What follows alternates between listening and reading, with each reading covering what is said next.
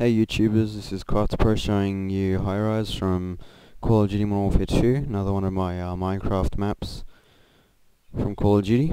So I'll show you around. This is, yeah, High Rise, most of you play Modern Warfare 2 would know about it.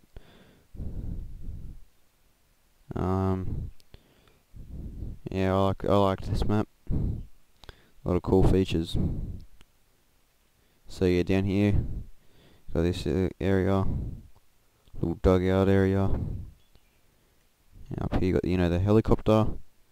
You can't get in it, but yeah. Um, other building, other places just you know run around stuff. You can go under here. Whoops, creeper. You can go under there, go down there and stuff. But um, yeah, I got this. Got all those buildings, you know, run around and stuff. I got that down there, that other dugout. Show that building in a sec. Um, but first, I'm going to go on the crane.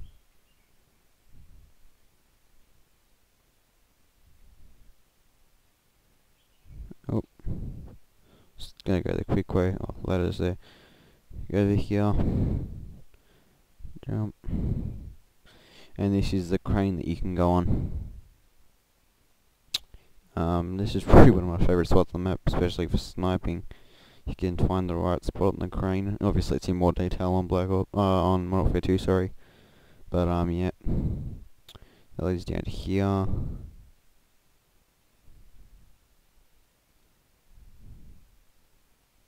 So I'm have to do a bit of parkour here to get through. It takes you to up here, where you can. I'll just jump down. Um, this is another known area. But um, yeah, this is like one of the spawn areas, spawn points in here as well. This is this actually goes to a little bit more detail. I think I added a bit more detail on the upper and lower floors. Actually, did make it a very high and low building, but um, let's make a an exit. Save me time.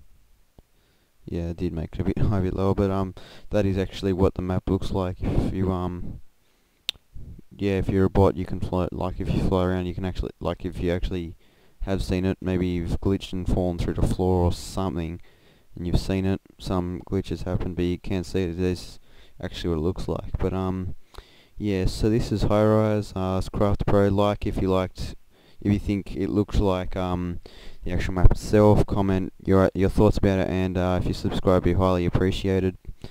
Um, thanks for watching. Hope you enjoyed it. See ya.